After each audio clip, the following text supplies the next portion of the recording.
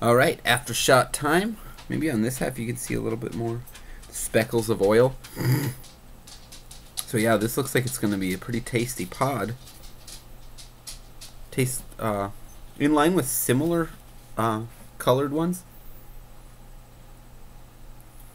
Just a very bright, sunny, fruity. I guess I can smell the citrus-like hints to it. Nondescript as they might be. So, it's a big pod.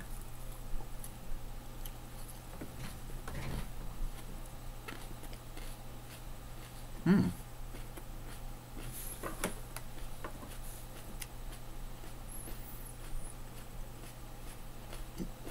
Got the sweet tang, a little bit of bitterness,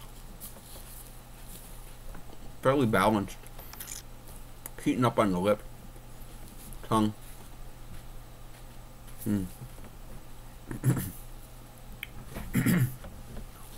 Potpourri like. That's it's still hitting the lips hard. Mm. A whack of heat in the throat. Whew. This one's pretty warm.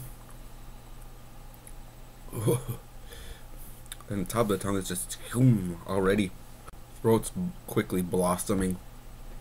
Man, the lips real it's really hitting hard right there. You can probably see the color change. Yeah, it wasn't super tangy or sweet. Had a little bit of the bitter kind of melding with all of that. Like a bubbly kind of kind of taste, not quite soap, that wasn't predominant, but just had a little bit in the aromatics come through with that. Overall flavor wasn't bad. It's pretty warm though. It's uh, lighting my tongue up pretty well now and kind of waving itself back into the throat. Pulsing at a pretty good level here and still building. Eyebrows are sweating. Texture wise, it was actually pretty meaty. Uh, it wasn't super. I mean, it, despite it being hard, once I started chewing it, it was really meaty, kind of similar to eggplant texture, almost aerated foam like. It was not quite like that. It wasn't dry. I don't mean to insinuate that it was a dry pod, but just kind of that mouth feel. Oh, the tongue is really building up. I'd put these ones on the upper end of a habanero, probably 350,000, maybe 400,000. Let's go. It's giving me a pretty good wolf here. Pro the pods Robert goes, he lives in North Carolina, so probably uh, a little bit more stressed growing conditions down where it's a little bit higher UV index.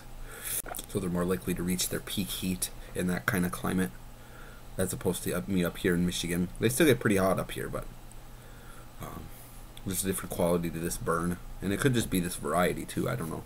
But man, my eyebrows are damp again. Whew. Quite a bit of drool. A little bit of the flavor remaining nice, pleasant. But yeah, this is uh, giving my mouth a good rockin'.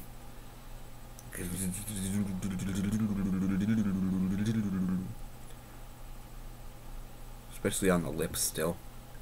Throat's calming down. It's, it's sharpening into a smaller focus. That's a little bit more intense than the overall burn was. Right up, really low in the throat.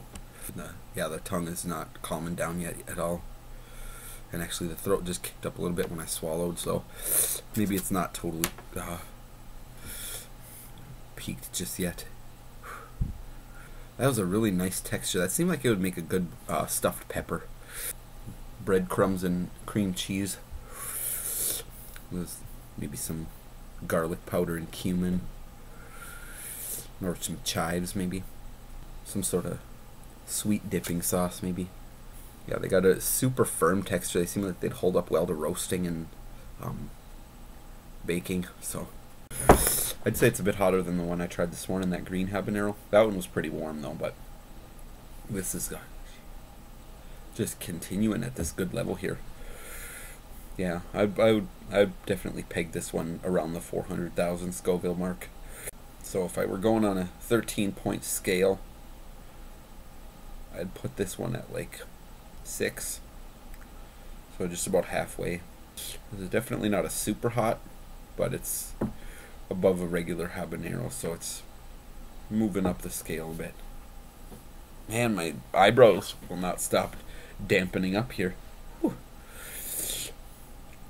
Drool still going apace. Throat burn is still crackling in this one little spot right here, way down low. Lips are just not calming down.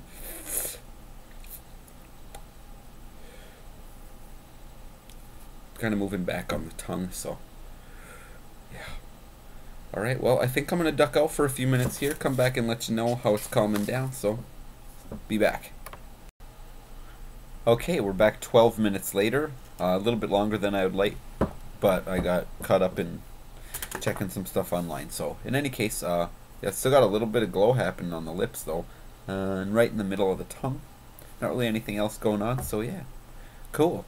Uh, thank you, Robert, for sending me some cool pods, and that was a pretty nice one. Uh, pretty damn hot, and uh, flavor was pretty decent. It wasn't bad, it, but it wasn't the uh, best one that I've had so far. But in any case, they're not all going to be your favorite. So, I'll see you guys on the flip side. Thanks for watching. Peace out.